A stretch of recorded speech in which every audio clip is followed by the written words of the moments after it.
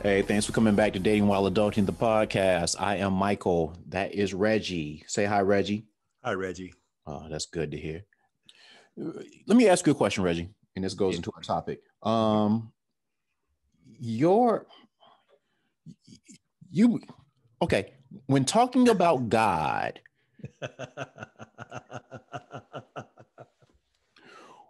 what exactly do you believe?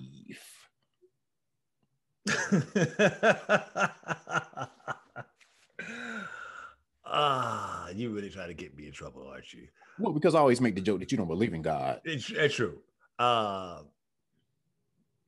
I do believe there is a connecting force that aligns everyone and everything in the universe. Uh, the Judeo Christian God, I do not believe in uh, whatsoever. There's no not some guy in the sky who's sitting there judging us and stuff like that. Uh, I just think it's a spiritual energy connective force, you know, that things that can't be explained. Like I said, I I work in the science industry and some of the what the space industry and some of the marvels or some of the pictures that we see from the telescopes and stuff like that makes me hard pressed not to believe there's not something. It's just not the way that we imagine it because, you know, humans are very self-centered, narcissistic bastards who wants to fashion everything in their likeness. And yeah, about that. Okay. just sums it up. Okay. And I guess since I asked the question, I'll answer it as well. Um, I grew up um, Church of God in Christ, um, holiness, all of that stuff. And then it continued um, after I moved from Ohio down to Atlanta. At one point, I was the person who was going to church twice on Sunday, Tuesday, mm-hmm. Wednesday, and Friday. Um, and I was learned. I I was taught that you know if you didn't worship a certain way, you were going to hell. um, my thoughts have evolved. I still believe in God. I definitely believe in God. I mean, there's no doubt in my mind.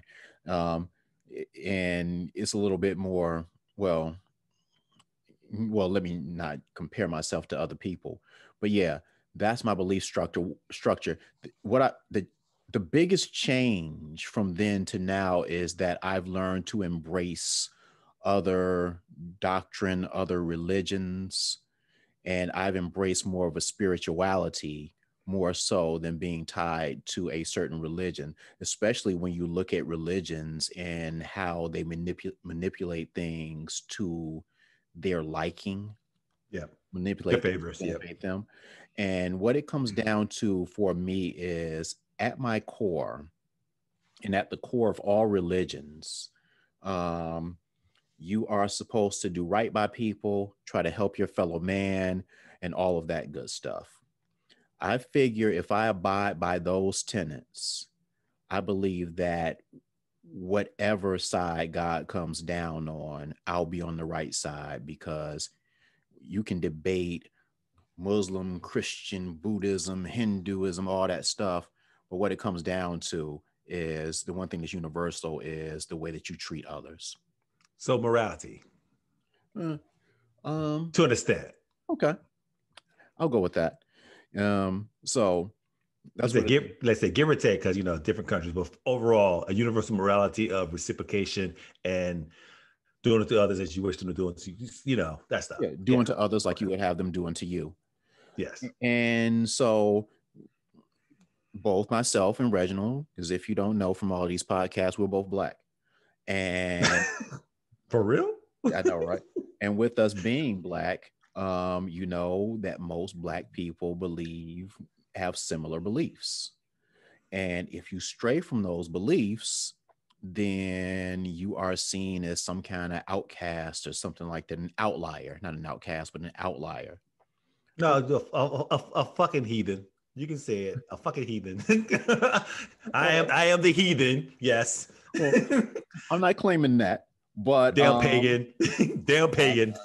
yeah, I'm not going with any of that.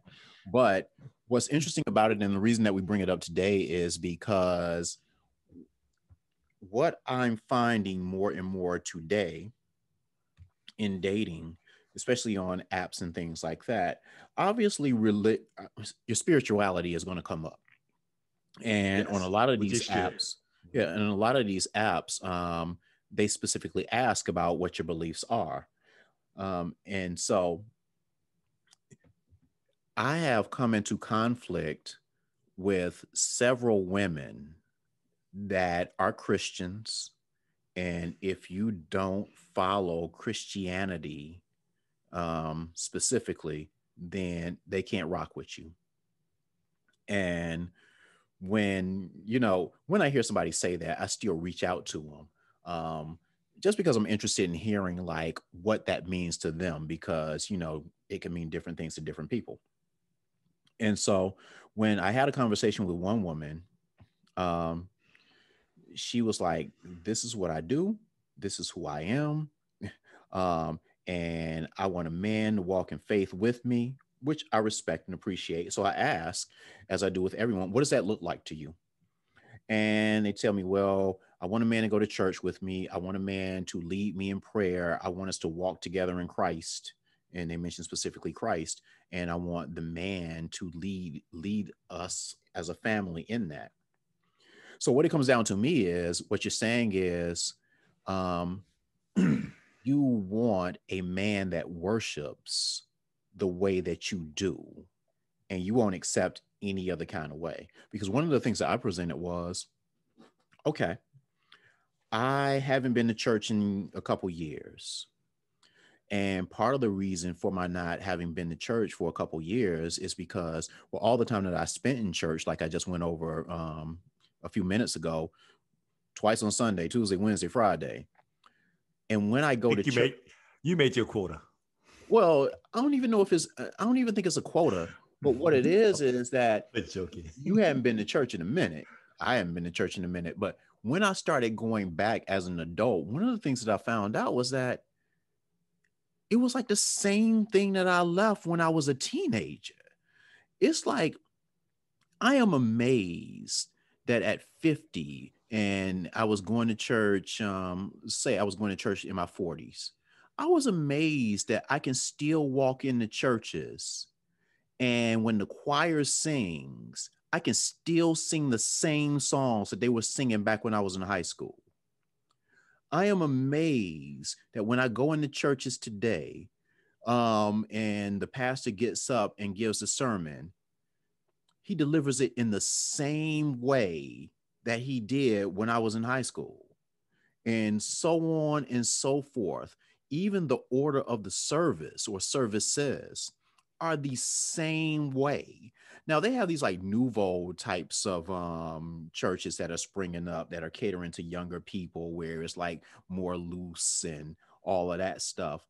But still, when it comes down to it, it's the same way. So it's like not necessarily that I've met a quota, and I know you were joking about that, but what's interesting about it is I need new information. I need something new. I need like if you're going to like just have me go and play the same message for me over and over and over again, I don't really understand what the purpose of that is. So the conversation that I, I have with women sometimes is like, okay, I went through all of this. That's one of my issues. Another one of my issues is that you do realize that Christianity specifically was taught to slaves to keep them in check. So I don't really think it's like unfair to question that or embrace um, other idea ideologies. And the thing about it is, um, most people just pretty much, uh, well, most most of the women that I had these conversations with, they pretty much just damn me to hell, and it's like, no, heathen. yeah, and it's like, no, I don't think you get it. Um, I don't think you get what I'm saying because I definitely am not thinking I'm going to hell.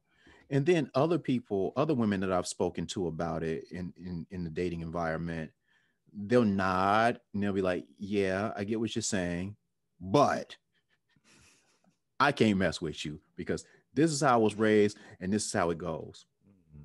and it's like okay um you are set on that. And and i don't want to seem like a hypocrite on this because to that point if i come across a profile and i see that a woman is an atheist i can't mess with her.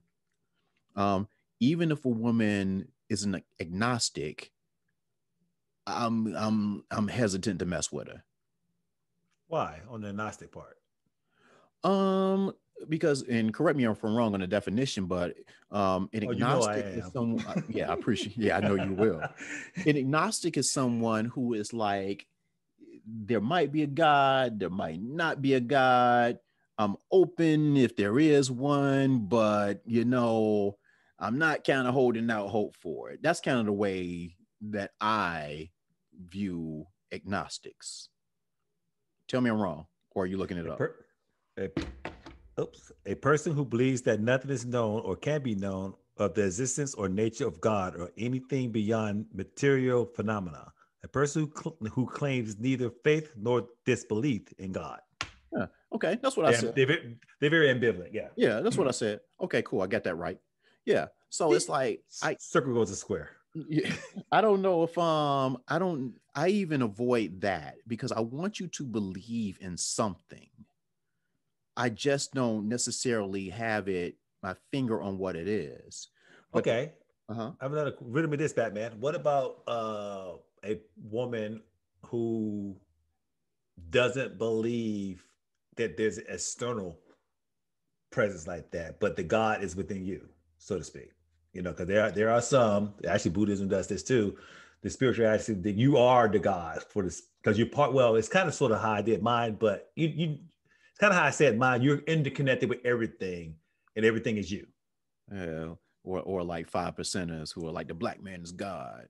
Um, see, see there, there you go. See, all we got, all we got, all we got to throw a bean pie at somebody. It's okay. Yeah, yeah. On that one, I really don't know. Uh, if it was something like that, um, I need more information to know what they mean by that. Um, because to a certain extent in every religion every doctrine or whatever god resides in us anyway. True. So that's really my point yeah. Yeah yeah so that's one thing but still i believe and the person that i want to be with should have a belief in in a pre in a being um as weird as that sounds to actually say out loud. But yeah but the thing about it is, with me, I wouldn't, besides the agnostic or the atheist, um, if they were, if they follow some other kind of doctrine, spirituality, or whatever it is, I don't know that I dismiss them. Uh, my whole thing is how they act. Um, because my thing is this when I have these conversations with these women, because as you know, Reggie, everybody knows there are people that are at the club on Saturday and at church on Sunday. Mm-hmm. Mm-hmm. And and that when, supposed to qualify them to be a good Christian.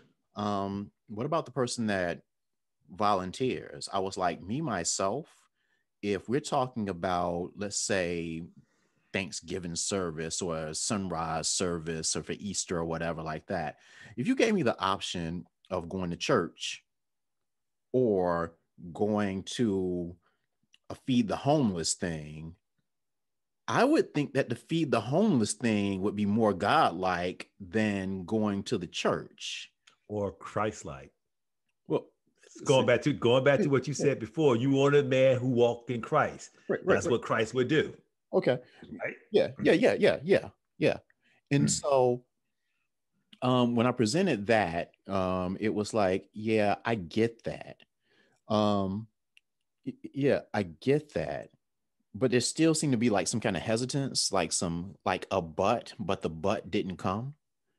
And so what it what it came, I know, but the but didn't come. The but um, didn't come. but what it came down to for me was it wasn't just a matter of um um uh following that religion it's not necessarily about identifying yourself as a christian because i get the impression that if i was like yes i am a christian that these same women would be like, Well, do you go to church? Nah, I ain't been to church, but I'm a Christian. well you, are not you're not a real christian yeah. Yeah i've actually i've actually had women tell me that um yeah well i want a man to go to church. If you don't go to church so it's not just your belief system it's that you have to do it in the exact way that they want you to do it. Okay. Which which i guess i understand. I mean if that's what you want to hold out for that's cool. But i just find it interesting and limiting um in the sense that you know a, you negate what a person can offer you or what a person actually does outside of the church because you because being in the church matters that much to you. True that. I have a a story to tell about this situation uh because of i was not necessarily as raised in the church as you were but you know my family are, were original church founders and stuff like that. So I went through all that rigmarole and stuff like that. Uh, I remember having coming back, I was dating my wife, and I asked similar question. I said, and I quote, because our family is, is is in Christ and stuff like that, and you know, so this conversation had to come up. I was like, so who would you rather have? A very strictly moral man who abides by the beliefs of reciprocity, abides by the beliefs that, you know, do unto others as you wish to do, or the platinum rule. That's the golden rule. The platinum rule, do unto others more than you would do unto yourself. That's a, either higher. Mm-hmm. But he does, he's not a Christian. He's not a Christian. Or someone who claims they are a Christian and they go to church, but they're not living, quote unquote, in the true spirit of what Christ is, using your example as going to church versus doing a Christ-like thing and going to feed the homeless or going to see kids in cancer therapy and stuff like that, giving back the love, so to speak, but giving the faith that they're going to be okay. And her answer was telling at first because she stumbled. Yeah. She stumbled and you know, Big Reggie being what Reggie is, the browbeating started. And uh, so I, the litany of questions happened. Okay, why are you stumbling?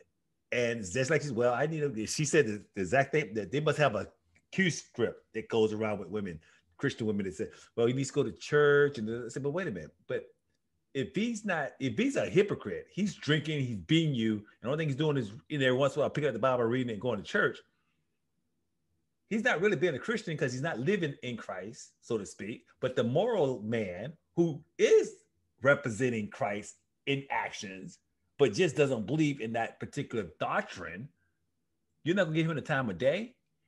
And she she struggled with that for a minute. She yeah. really struggled with that for a minute. And I was it blew my mind just like you. I was like, I don't understand that at all. you take the immoral man, but the one who calls himself Christ-like but not the moral man who believes in other doctrines and spiritual spiritual systems. I said that's the dumbest shit I heard in my life. Yeah, because the thing about it with me is that it's not like um, I'm a I'm a basher of Christianity. I am not that. I do acknowledge some of the things that humans have done to um, deface it. Um, and I, I emphasize too that it's something that humans have done. If you read literally the Bible, you know it's not bad. Um, it's just the way that people have man has interpreted and used it. So people think that that's it, it makes Christianity look bad, but it's not for Christianity's sake. It's not Christianity's fault that men have bastardized it and stuff like that. So I'm not crapping on Christianity or any religion, but just being open to other religions. People think that if you even entertain the Quran or any other book, that that is a false prophet and you're going to hell. And it's like okay. And and the thing the thing about it is to your point what you were saying people acknowledge um, women that i've spoken to they acknowledge that they go to church but they're flawed because they like to do what they like to do outside of church mm-hmm. which puts that much more infident inf, inf, impetus inf, whatever. It puts emphasis Thank you. Sheesh. it puts that much more emphasis on them um, on going to church, just being in that building. Um, however many times a week, however many times they go. And I even had women tell me, well, okay, um, I get what you're saying, and it seems like you're open minded. Does that mean that you would be interested in going with me? Would you, can I like persuade you to go with me? To which I responded, Yeah, I have no problem going with you from time to time as a guest. I was like, But if you're looking for someone who's going to join the church with you, I'm not going to do that. And I was like, Part of the reason is because if I did that, I'd be doing it for the wrong reasons. I'd be doing it for you. And so, oh, you, oh, oh, you need to clarify that one because you, you a whole bunch of women, a whole bunch of women said "Oh, so you're not gonna do anything for me?" I, you, so please clarify. I know what you mean. I know yeah, exactly yeah, what you mean. Yeah, yeah, and and yeah, and to make it even more clear, um, based on my belief in God, I am not going to do anything um that puts you before God. So I am definitely not going to risk offending God by walking into his house, not for him, but for some chick? Nah. and when I say some chick, I don't care who it is, regardless of who the woman was, it would be some chick. If it was my mother and I was just going for her, she would be some chick in that scenario because I'm just not going that route. But it's just interesting to me how many women that I've met, and it seems like I meet more and more that cling to that. And it's almost like it's almost like they're bad, the bad stuff that they do outside of the church is okay. But because they don't know you, if you don't go to church, that means that you can't be doing other things that are good and decent. It's a it's a sense of hypocrisy. Uh, this this is one of the issues I've had with Christianity since I was able to read the hypocrisy of the whole thing, you know, or that thing as mother mothers and fathers used to say to you all the time, do as I say, not as I do, type of crap. And you've heard everyone's heard that statement. And that pisses me the hell off. It's like, oh, okay. So, you know, you can sit there and smoke and drink and all this other crap, but I can't do it. But you can still do it in front of me. You're not setting a very good example here for me not to do it. Um, I yeah, that I, the reason I had to, I wanted you to spe- uh, specify on that is I was in a situation with my wife where she wasn't necessarily um, demanding that I go to church because she knew that's not my bag. She did, we did come up with a compromise every once in a while, like you said. Uh, I go, I go as a guest. You know, when we visit her, her folks, um, the church is literally across the street, literally. And every once, sometimes I go, sometimes I don't it all depends. You know, I go to church mostly. I ain't gonna lie. I go to church because I like the choir. I like the music. So every once in a while, when I want to go get some some gospel in me, I go. And you know, every once in a while they have a nice sermon and blah blah blah. But as for it being the foundation, the keystone for my spirituality of my relationship with the most high, that going to that structure. I mean, you even go to your, your, your Bible and realize that Jesus never said that church was the way to him through the God. Like I said, go people, please go back and read your stuff. Uh, even the, the, the diluted King James version that we have, but I digress. Um, the one thing I will say is, you know, from Shakespeare, Hamlet, there are more things in heaven and earth, Horatio, than are dreamt in your philosophy which means we would never know everything. We are limited. In essence, we may have God within us, but we're not God because, uh, you know, depends on some people's interpretation. God is omniscient, means he knows everything. We would never know everything. So to close out your thinking that this one doctrine is the only way versus maybe Quran, Muslim, Islam, excuse me, Islam versus Buddhism versus Zoroastrianism versus enter these spiritual systems that other cultures have had to get closer to God is, in my opinion, ungodly. Because well, what makes your God better than their God? well, a couple things. One, um, the Bible does talk about where two or more are gathered, um, I'll be in the midst. So that's like the basis of why churches kind of operate because getting the two or more together. Um, I know, but but think about that. Not necessarily that building.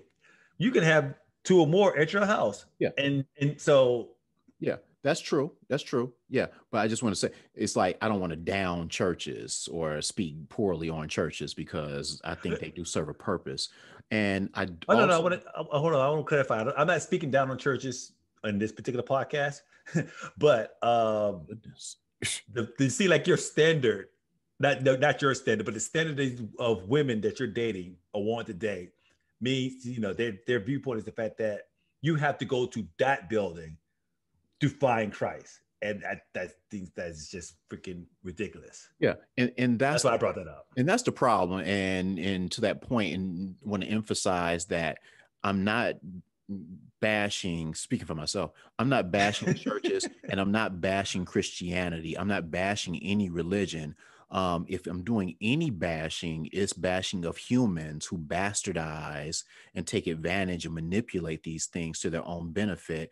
And I'm bashing women um, that oh, the the women bashing I, women. He's no, bashing women, boys bashing, and girls. He's bashing women. I'm bashing the women that I've spoken to that have done just that. They've bastardized and manipulated these things to work in ways for them. So, just to be clear, I am in no way talking trash on Christianity or any religion. I am not talking trash on church.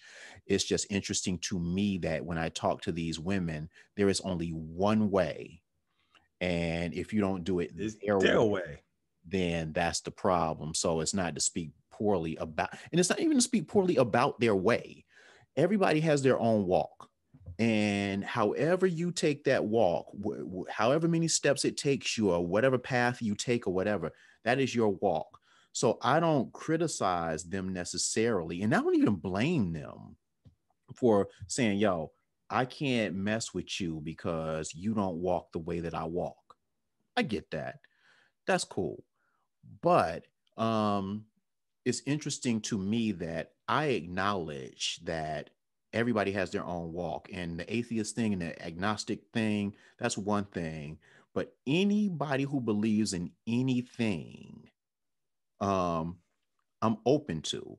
And my thing is if god truly exists be, in the way that i believe that he exists um he's going to show you the way and he Mm-hmm. I don't. Okay, yeah, yeah, he, she, it, whatever you want to call it. It's going to show. He's going to show you the way, for lack of a better word. Um, he's going to show you the way, and you know, maybe being with me might help show you the way, show them the way. Maybe if you're open-minded Christian woman to my not necessarily going to church, maybe my being with you through you, he might show you show me that, hey, maybe I do need to go to church. I understand that it's a risk because when we're talking about love, and I've heard stories, I grew up hearing stories about the woman who dated the heathen and how she prayed, prayed for him to one day come to the Lord and all of that stuff, and he never did. And that was a mistake on her part. I get that but I think there is more to judging that person. If that dude is was at the liquor store when you met him and you were talking about him, I pray that he winds up going to church with me. That's probably um that's that's kind of your fault. Delusional. Right. But if as but I said as I said on the podcast, bad decision making. Yeah. But if you meet a dude and he is doing things that things that show you God mm. in him speaking to your point about God being in everybody if he if he's doing things that show God in him to you then to say well I'm going to disqualify him because he doesn't do he does all of these things that are godly but he doesn't do this and he doesn't do this and he doesn't go to church. It, it just it's just weird to me and it's like I'm knocking it but I don't mean to knock it because everybody's walk is their is their own. But it's just I knock it for him. I knock it for him because I see the parallels with two things. Um, the first thing is I see because I don't date men, but women. It's like the earlier podcast we did before we got on YouTube, where you ask a woman, ask woman asks you, "Hey, what do you want to eat? Chicken or steak?" You say steak. She comes up with chicken. So it's always coming back to what they actually want whatever they whatever you know you need to walk the way they want even though they give you all this lip service that i want to follow you and all this other be the leader. No you they want you to capitulate to how they see things which is cool just own it. The second part of this is the fact that going back to another podcast about poor decision making the reason i say that women have poor decision making doesn't that is not a i'm not saying that women do not have the rational and analytical skills to make great decisions women have all the information they need to assess what a man is and what they want and what they don't want. They see the red flags just as clearly, if not better than we do. Their problem, and yes, I'm saying their problem or your problem, if you're a woman, is the fact that you think you can change your man. You can change that man. It goes back to what Michael said. He gave a great analogy on the fact that if you met this guy at the liquor store, he was drinking a pint and a half a day. You see him drinking a pint and a half a day, but you're gonna get with him anyway because you can change him. yeah, but but these women that I'm talking to that are like saying that they can't rock with me, then those women aren't those women. Those women are accepting the fact that that I can't be changed in the way that they want me to change. So I applaud them on that. Yeah. So bravo, bravo.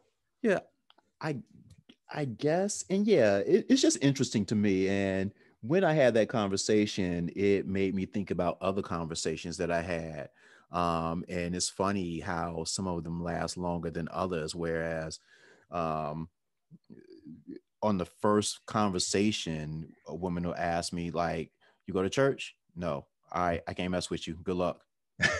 and then there are other women who are like, you go to church? No. Okay. Why don't you go to church? And then we have the conversation, and then they're like, okay, I wish you luck. And why then, do they go to church? Um, I don't ask.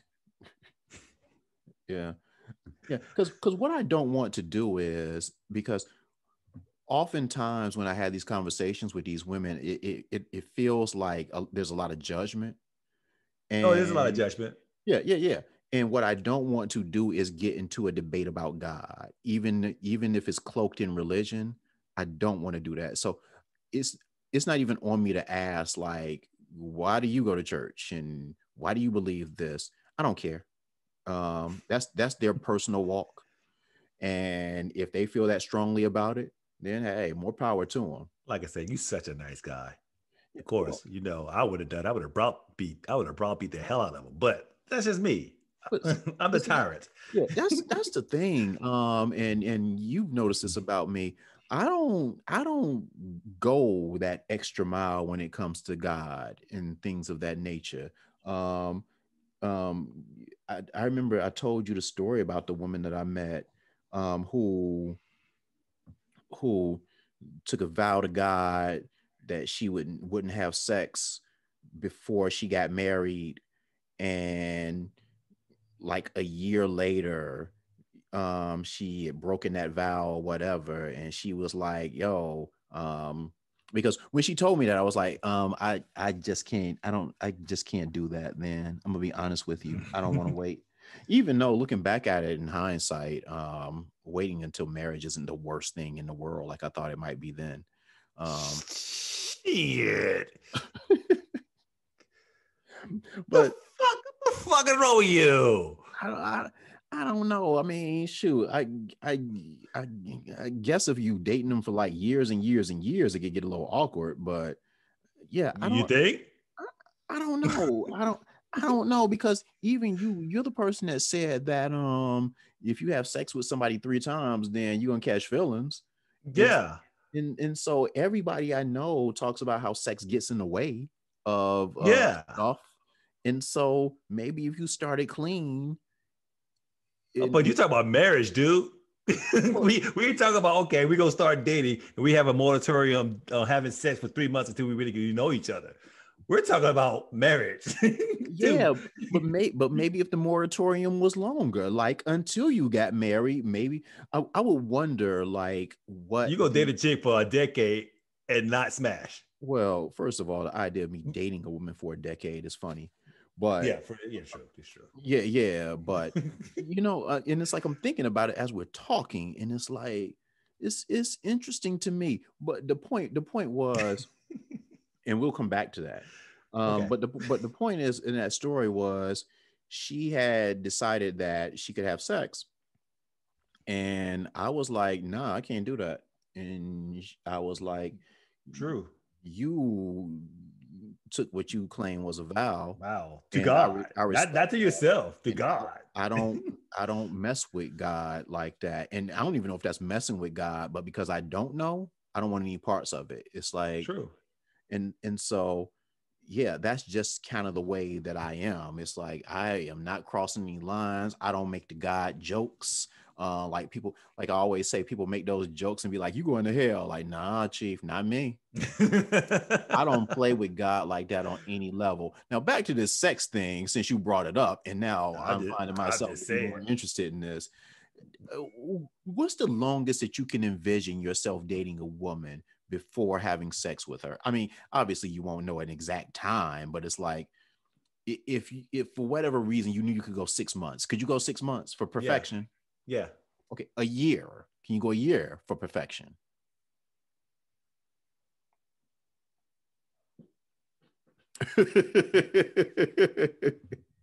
That's probably the longest I can go. I mean, but but by that time, if I can go a year, that means that I pretty much know everything down to your grandmother's social security number and stuff like that. And therefore, you we're on we're on marriage material. You getting married, uh, you know, unless the sex is just whack, which we have a couple podcasts on. Uh, unless, the sex is just whack, we getting married. If I had if I interrogated you for a whole year and you still around, oh yeah. The only thing that's gonna stop us from not getting married is you just whack as hell in bed it's interesting that you say after a year, then you like marriage material and stuff like that. So basically, you saying if, if you slept with the woman before a year, then she she wouldn't be she might not necessarily be marriage material in a year. No, no, no. What I'm saying is like um, I would try to if I'm into the dating scene and stuff like that. I am not rushing sex, particularly where I am in my life now. I'm not rushing sex anymore. Even when I was younger, there were, you know, we talked about in another podcast, dating versus me just having sex with women. And I distinguished that very quickly. Um, if I know I'm going, if I know that me and you are not going to be compatible with this, yeah, I'll sleep with you in probably next week. But if I think that oh, there may be something there, I'm going to hold off as much as possible uh, to try to get to know you a lot better because I know, I've always known, sex get in the way of a lot of stuff. It gets in the way of a lot of stuff. And right. uh, you know, my three rule, my three sex rule comes in that, that play because there's been decisions where I was playing fast to lose, so to speak. And the girl called mad feelings. And I was like, uh, you know, I don't like you like that, right? I mean, I like you, you're cool, but I ain't trying to be your boo. So, you know, that learning by experience thing. I it's like a wonder. It's like I can see it being a realistic possibility. Now, with that said, there would have to be like specific rules set into place. Oh, definitely. Like, like we definitely couldn't spend the night. We definitely couldn't sleep in the same bed. Mm-mm. Um, um, there might even have to be like rules about kissing, um, touching, things mm. like that and we definitely have to and this would have to be in writing actually yes it would have to be in writing that once we got married and had sex because you don't know if it's going to be enjoyable or not or how often they want it you're not often compatible on that there would have to be in writing that we would have to have sex this often this many times a week or whatever something like that.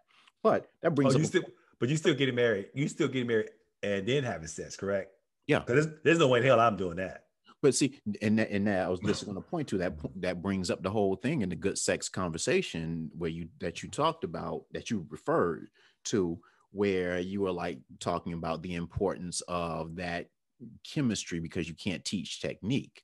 And if you get married to that person and you're not sexually compatible to you, that's a deal breaker. Whereas I feel like, shoot, um, if she's giving it up and we can work on the maybe the oddness or whatever because sex the first time isn't the greatest usually the hell you say usually i'm the hell you say Yeah, I gotta think about that. Yeah, you got to think no, about no, that no. one, brother. No, no, no, no, no, no, no. some some chick you you really into. I, there's been a couple of them that I know. I was like, damn, okay, hell, they even they even um, beat expectations the first time. Yeah, yeah, yeah. But did it steadily decline afterward? No, But that's that's my point. That's my the, point. the, the sex didn't decline. Uh, the sex actually got better because as I really got to know her a little bit more, the connection was there. That's my Yeah. point. Okay, Yeah, yeah. Um, the sex can be. I didn't say the sex couldn't be great the first time. I'm saying it's not the best the first time. oh, okay, I got you. I, I mis- Yeah. I misheard you. I Yeah, yeah, yeah, you. yeah, yeah, yeah, yeah. So it's like, yeah, I think we could build up to that. But boy, I know one thing. That woman had better not make one misstep. Because you know how shoot, if she does something wrong, she can she can suck your dick and make everything right. True. Boy, there's nothing she can do to make it right on that level. So, boy, she definitely better watch every step she takes. Because man, and that, and that's about that, that's why I sit there and sit the moratorium. If you're really serious about dating, you need to have a moratorium of not having sex for a specific period of time, so you can really get to know someone. And you know, it goes with men too. Uh, this this is what I'm talking about. This whole love thing. You need to actually know who the hell you're dealing with, and you know, it stop committing to these people for whatever reasons outside the fact that no, I just really just fucking like you. I just fucking like you. so That's an if- out if you just effing if you just effing like them, why can't you just extend that date for another six months and, and then propose? Because the sex, if the if I can extend that date and I don't have the sex as the the glue, I may like you, but then you're my friend. I don't have to be married to you for the rest of my life. You ain't getting half. It's funny. It's funny. This conversation in the minute that we have left. This this conversation started with um conversation God. with God and it ends in sex. But sex. but they are tied together because of the idea of monogamy and waiting until marriage to have sex, which I don't think is the worst thing in the world. I have not done it. I have not been with a woman for any length of time. What's in, in the minute we have left? What's the longest you um you waited for sex? Three three months. Yeah. And actually, uh, real quick, I actually lost the girl because I did not have sex with her because I wanted to know who she was, and she thought I was rejecting her. Huh. Yeah, it's funny how women um, think if you don't like them um, in a certain way or you don't do something specific with them, they think that um, you're either gay or you don't like them, and it's just like, nah, chief. Maybe I want, I do like you, and that's the reason. Yeah. But but strange for me to say um, because people that know me would think that I'm the one that would wait a year, but um, I don't think I've gone a month of dating without having had sex the first time with a woman. But and that all and that even depends on how often I saw her. Is like, yeah, things just happen. But yeah, thanks for joining us. Datingwhileadulting.com. Um, kick the music, I guess. Yeah, we're done here. Yeah, we're done here. Say goodbye, Reggie. Goodbye, Reggie.